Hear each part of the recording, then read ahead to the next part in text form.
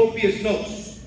Uh, we always say in our trainings, note takers are money makers, okay? You want to take copious notes because this gentleman that I'm going to bring up is also a serial entrepreneur.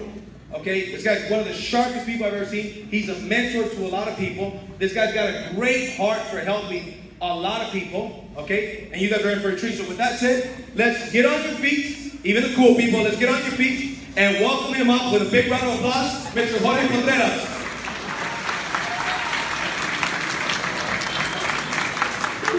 Give it up for JC one more time. Make some noise.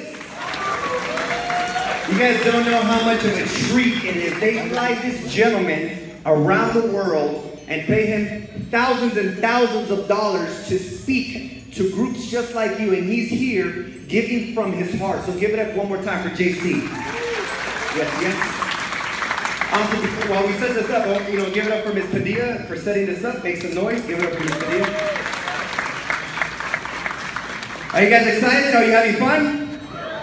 Do me a favor, everybody stand up real quick. Stand up. High five four people around you. High five four people around you. Give them high fives. Now, while you're standing up, I'm going to give you one more opportunity to take advantage of these million dollar chairs in the front. We got some chairs right here in the middle. Okay? I'm gonna sign you up. There's about 10 chairs right here in this middle area, a couple right here. Anybody from the back, this is your chance. Come up and go forward. The thing is, most of you are not standing up and taking one of these front chairs because you care too much what other people think about you. Do you know where you're going to be in five years if you continue to care too much about what people think about you? You're going to be in the same place. Okay? Everybody here is a senior?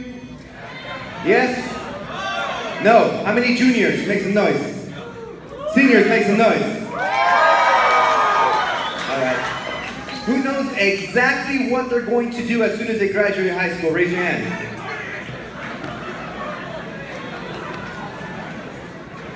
Can you stand up, sir? Yeah, stand up. What is your name? I'm sorry? Daniel. Give it up for Daniel. Make some noise. So Daniel, what are you what are you gonna do when you graduate high school? What's your game plan for the next three to five years?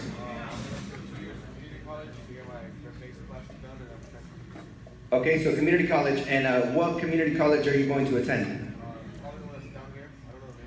Okay, so check it out.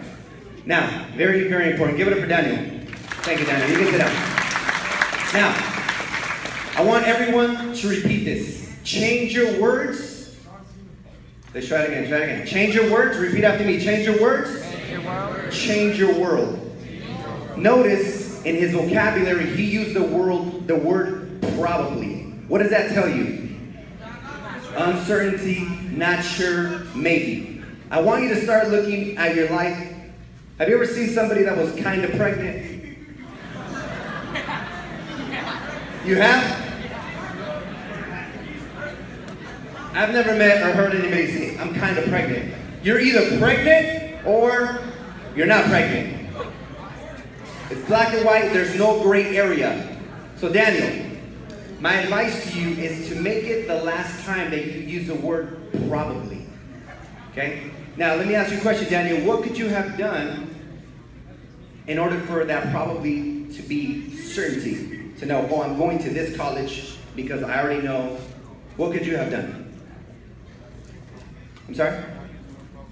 okay, so now use the word probably. But before getting here today, what could you have done in these last couple months to know what community college you're going to attend?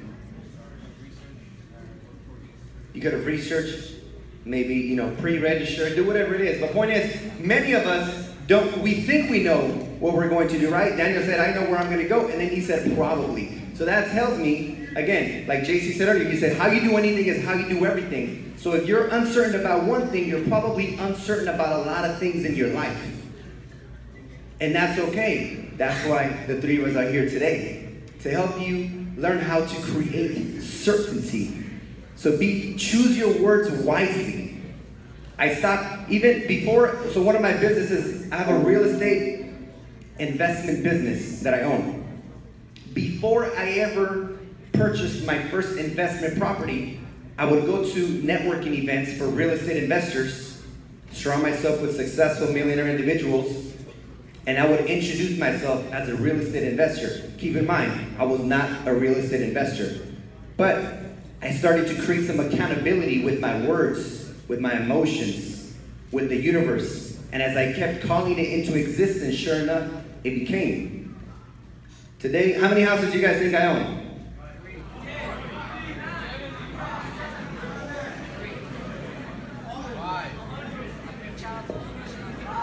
400. No, I'm just kidding. But that's my goal. My goal is to, to own 400 doors by the time I'm 35. I got five years left. Right now, I own seven. Okay? okay. Hey, seven's pretty good. If you own seven houses by the time you're 30, hey. Now, the way it started, oh, are we ready? All right, cool. Now, before I get started, just as I mentioned about your words, you got to choose your words wisely. Not only that, you got to pay attention to how you communicate. 80% of communication is body language. And many of you have been sitting down slouching.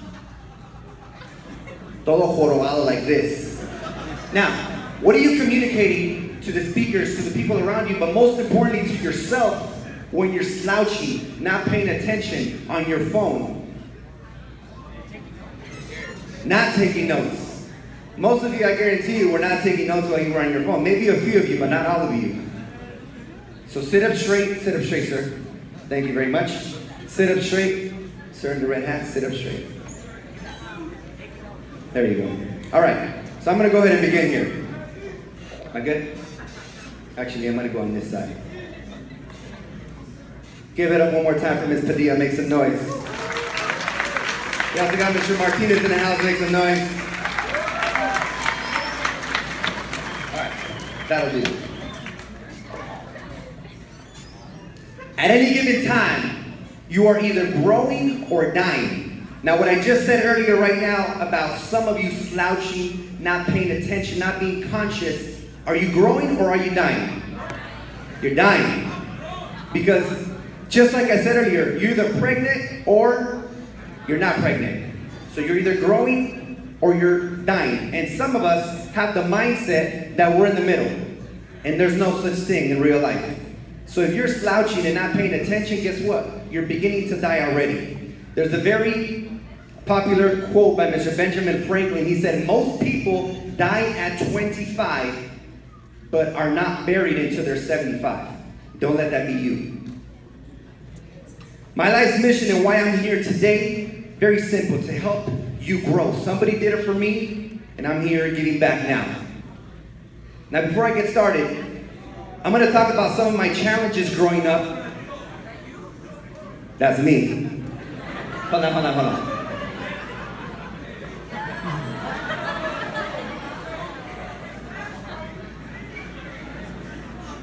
I was broke and I was broken. This is me.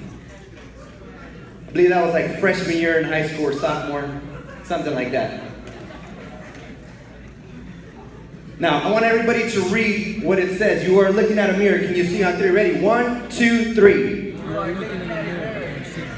And what I mean is, a lot of the same struggles that you're going through, many of us experienced ourselves. Now, we're at a different place at our, in our lives, but the lesson is the in between, the cream filling, okay? Now, one of my first challenges, I had a brother who knows somebody that is in gangs. Don't raise your hand. Porque viene la chota. I'm just kidding. I had a brother, when I was five years old, I had a brother, half brother. He was 16 years old. He was murdered. He was hanging around with the wrong crowd. A lot of us think, oh, if I hang around with them, no, I won't become like them. You are uh, the average of the five people that you hang out with the most. Like Mr. JC, if you hang out with five people that are, in, you know, affiliated with gangs, guess what? Sooner or later, if they don't become like you, you're going to become like them. Whoever has the most influence wins. Who's ever experienced somebody close to you passing away? A lot of you. Who passed away? Sister, how about over here? There was a hand? Yeah, go ahead. Uncle, who else? Anybody else that wants to share? You don't have to share, it's okay. Yeah, go ahead. You passed away? You probably did. Were, were you one of the ones slouching earlier? Anybody else want to share? Anyone who experienced? Who? Go ahead, scream it out.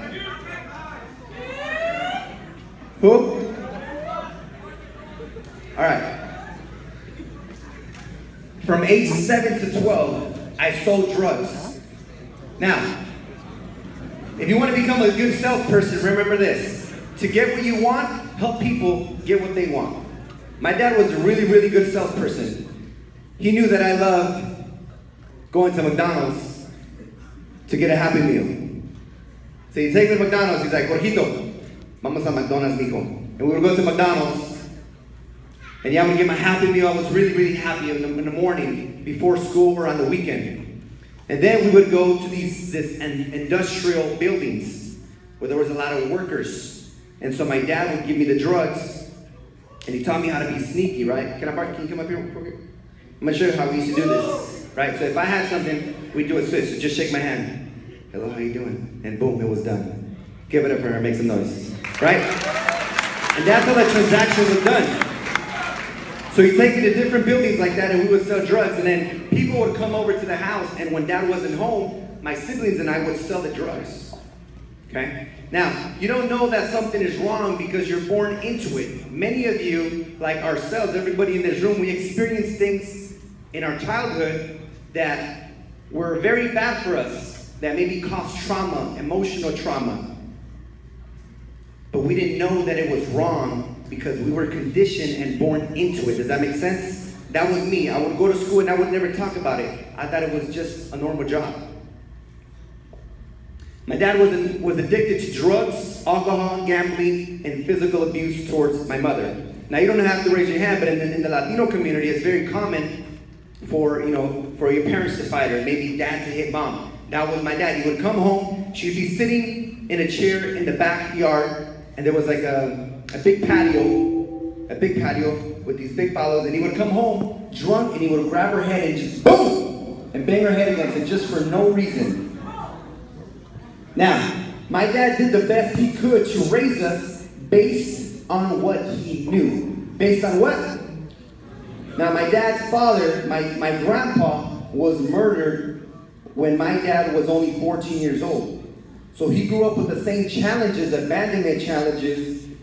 Challenge, he created all these trust issues growing up because he felt if the person that I love the most was never there for me, how can I be there for somebody else? How can I let anybody else into my life if I've already been affected emotionally?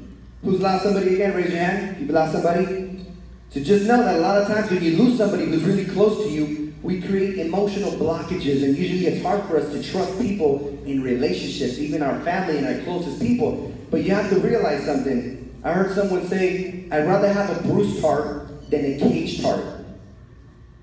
And what that means is, not only do you keep out the bad when you're creating walls, but you keep out the good and the great.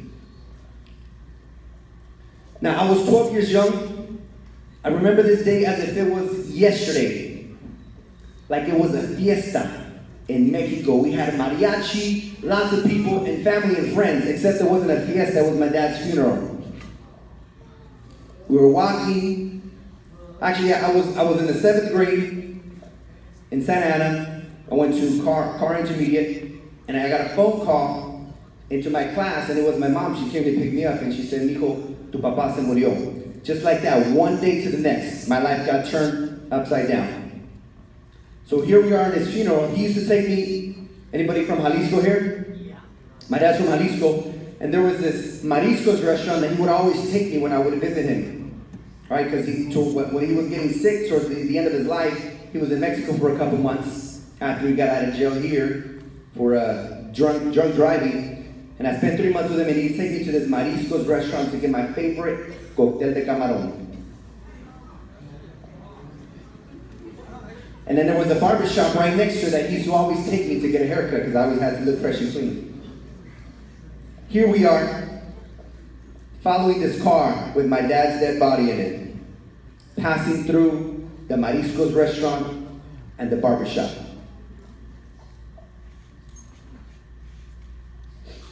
When I was in school, after I experienced all these hardships, I thought it was me against the world. I was in victim mode.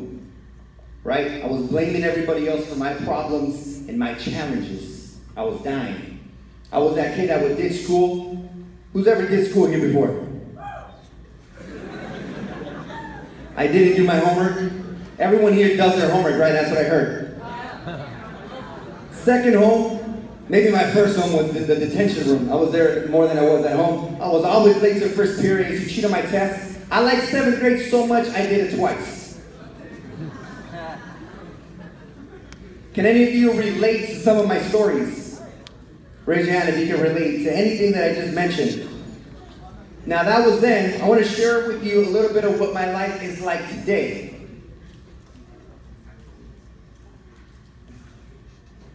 So that's my nephew on the left.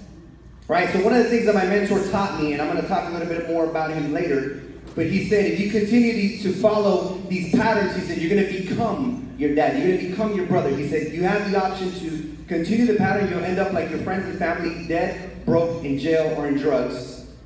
He said, or you can completely break the pattern and, and create a new standard for the rest of your siblings. And that's what I did. So here I am, it's my nephew. He's graduating high school just a few months ago.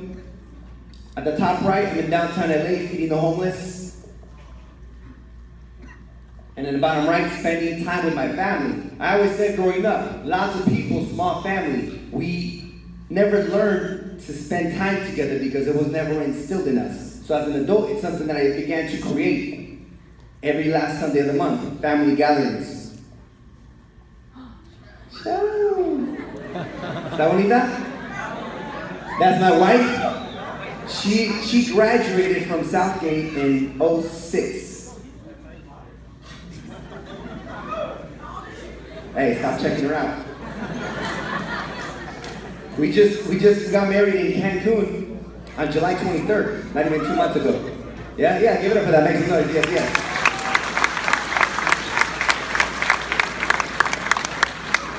Now, growing up, and I know some of you can relate to this, who, some of the fellas here, who says, I'm never going to get married? I know there's more of you. Now, there is a relationship between some, not, not necessarily for everybody, but for a lot of us, when we don't want to be in a long term committed relationship, when did you learn that? For me, when my dad passed away, I was so emotionally hurt that I didn't want to get anybody I don't I wouldn't allow anyone to get too close to me. If I was dating in high school or after high school, as soon as they got too close, I was bouncing. Right? Why? Why did I do that? I didn't want to get hurt.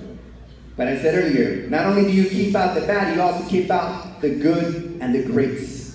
So that was a breakthrough for me. Growing up, I always said, I'm never going to get married. I'm never going to have kids. Why? Because I got such a amazing yet bad example growing up that I didn't want anyone else to experience that. I'm 30 years old. I just turned 30 about two weeks ago. We actually celebrated here at the South Gate Park by the volleyball courts. And by the time I was 28, I had traveled to over 25 different countries, teaching, performing Latin dance, which is one of my businesses. Here at the top right, this is us in Thailand. That's a real tiger. He looks kind of small there, but he weighs about 600 pounds. This is us in Honduras. This is us in Costa Rica. This is us when we bought our first home together. This is us in India at the Taj Mahal. It's one of the wonders of the world. This is my mom taking care of me. Give it up for my mom. My mom is a warrior. This is my mom taking care of me, and this is me taking care of my mom. Nice. She gets manicures, pedicures, anything she wants. I actually retired my mom when I was 27 years old. I always bring her flowers. Anything my mom wants, she gets it. She's the queen. Give it up for that. Make some noise. Now, a couple years ago, my mom didn't have a car to get around. She had to borrow people's cars. So I guess what? bought her a car. Not too long ago, my mom, she, she was born and raised, I'm sorry, she wasn't born, she was born in Mexico in Guerrero, but she's been in this country for over 25 years. And she's very comfortable and used to living in Anaheim. Anybody know Anaheim? So I bought my first house in 2012 in Boyle Heights, and she didn't like it because it was a little, you know, hood. You guys know Boyle Heights right down the street. So I had a room for her, set it up, made it look nice, but she didn't like it. She's like, oh, if I go into downtown LA, there's too many one-way streets, and you know, by the way, mom doesn't speak English and she doesn't know how to read or write. Okay? But she's a word. Give it up one more time for my mom, yes? Now, oops. Not too long ago, she had a room in my house, right? But she didn't like living there, so she would stay a couple days there, a couple days with my sister, a couple days with my brother, a couple days with her friend. So here's me when I bought her this car about two years ago. She looks happy, right? And this is a house that I bought her this year on January 21st. Wow. Yeah. How many of you would like to do that for your mom? All right. So the most important stuff, the juicy stuff is coming up. So make sure you guys, you know, stay focused. This is in, uh, in Riverside, California. Very, very nice area near communities, colleges. And she wanted, I, I made a vision board in 2014. You guys know, know what a vision board is? And one of the things I put on there is that I was going to buy, I didn't say maybe, or probably, or kind of, or want to. I put, I am going to buy my mother a house by 2019 in the area that she wants. She wanted, I said, Mom, where do you want your house? She said, Oh, Mijo, I want to I wanna live in Riverside. But you know, my mom, like, you know, like many Latina moms, she's like, Oh, don't worry, Mijo. Like, they don't want to be a burden on us. She's like, Oh, don't worry, I'm fine. Right? She wanted to live in Riverside because that's where my aunts, uncles, everybody moved to Riverside when houses were really affordable a while ago. So I bought her a house in Riverside. I took her to the furniture store. I said, Mom, pick your bed, pick your couch, pick your dinner table, right? So obviously, I wanted her. I wanted to make sure that she absolutely loved the house. So I took her to the house to see it before we closed on it. But I told her it was going to be ready in about two months. And a few weeks later, I invited all my, my, my wife and all my siblings. We went to the house. We had all the furniture. Actually, I called the uh, exterminator. You know, if, if there is any cockroaches, ants, let's just kill them right now. You know, clear it up, make it clean. We got my family. We cleaned the house. We furnished it. Talk about everything that you would need in a house was in the house. I gotta show you guys a video. I'll show it to you guys next time. I have it. I got it uh, recorded. So I pick up my mom at my sister's house, and I said, "Mom, I'm gonna take you out to lunch." And I always do like crazy, unexpected things. So I'm like, "I'm gonna blindfold you." So she's like, "Okay, that's fine." So I blindfolded her, but first I blindfolded my sister so that my mom thought it was a surprise for the both of them. Sneaky, huh? So I blindfolded my sister. Actually, I had her do it. I said, Mom, so blindfold Olivia. So she blindfolded her. And then I blindfold my mom. And we get to the house, and it's raining, but it doesn't matter. And we show up to the house, and she thinks we're about to go eat. I get her out of the car. I walk her. She's like, ay, hijo, ¿dónde vamos? Right? I grab the keys. I don't think I have keys. I got too many houses, so. No, seriously. So I don't carry my keys anymore. I just carry my keys. and I said, Mom, give me your hand. And I grab her hand, I flip it over, and I go here. I said, Welcome to the rest of your life. Pretty cool, huh?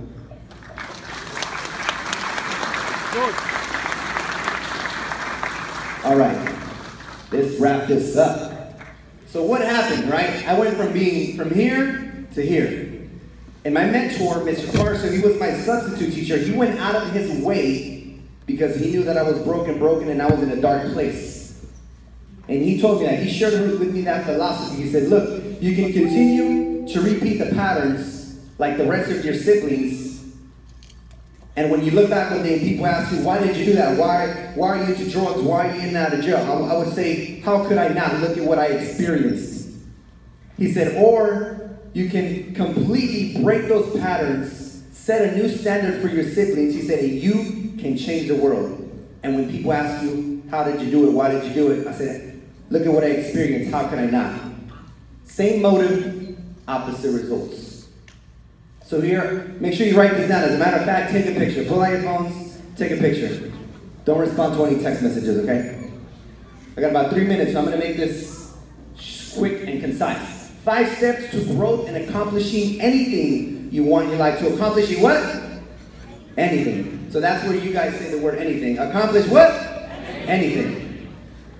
I made a decision. That's the first thing I did. And some of you today, you need to make a decision that the rest of your life will, you will not live it the way you've been living your, the, you know, the last couple years or your life from then up until now. Okay? You got to make a decision that you want more out of life. That you want to break the patterns that you've experienced growing up. Number two, you got to take action. You can't just make a decision and then just wait for somebody to come knock on your door.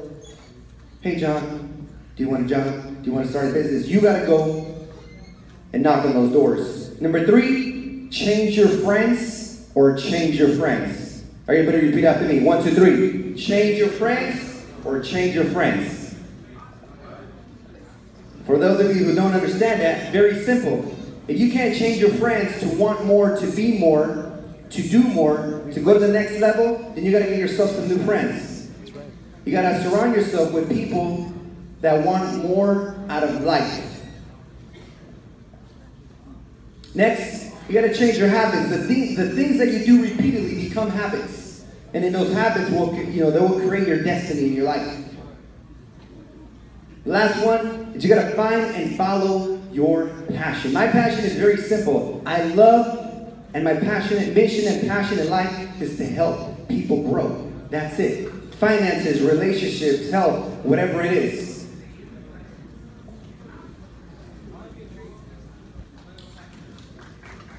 Now, you guys can stay connected with me. Facebook, Instagram, YouTube. I post most stuff on Instagram. Follow, follow back. Right? Someone said that last time, but hey guys, it's been an absolute pleasure. Thank you very much. Now,